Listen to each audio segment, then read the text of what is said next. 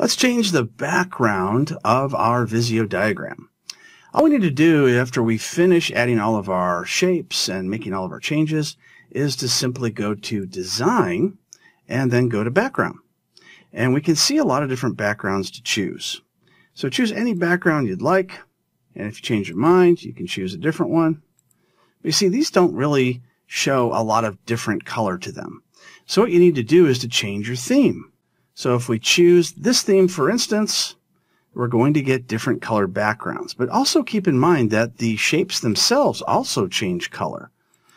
So this is going to match that information that's in your theme. But that doesn't mean it has to stay that way. So what we can do is go back to background and go to where it says background color.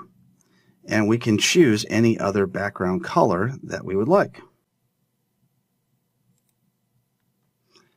And that one probably isn't going to be one that you're going to want to stick with, but uh, we'll choose a different one. That one probably isn't one either.